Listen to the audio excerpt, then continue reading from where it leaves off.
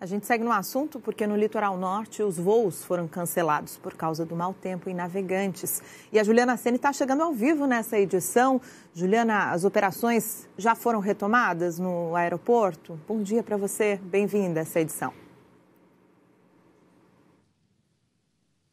Oi, Marta, bom dia para você, para todos que nos acompanham. Pois é, desde ontem, situação complicada no aeroporto de Navegantes por causa das más condições do tempo. Até o começo da tarde, ali no fim da tarde, é, teve voos cancelados. 14 voos foram impactados por conta das condições climáticas. Segundo a CCR Aeroportos, empresa que é responsável pelo Aeroporto Internacional de Navegantes, três voos tiveram as chegadas canceladas, sete tiveram tiveram as partidas canceladas e quatro tiveram que ser alternados. A Defesa Civil está, a gente lembra, em estado de monitoramento e alerta por conta do tempo, né? A previsão aí durante é, o dia de hoje ainda, mas principalmente é, de ontem para hoje, é, rajadas de vento e também acompanhadas de trovoada e o risco também de temporais isolados para todo o litoral norte de Santa Catarina. Isso impactou na situação do aeroporto porto. Agora há pouco a gente soube que o porto de Itajaí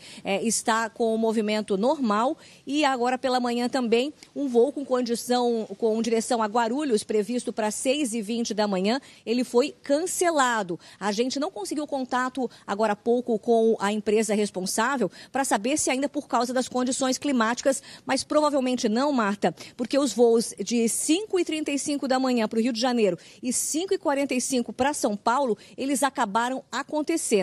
Tem partidas previstas ainda para 8 horas da manhã, 8h55 e 9 horas da manhã, todas para Congonhas, ainda mantidas no site é, ali do aeroporto de Navegantes. Sobre as chegadas, os voos que estão previstos para 7 e meia da manhã e 8 e 10 da manhã, ambos de São Paulo, Viracopos, também estão previstos no site. Volto com vocês aí no estúdio.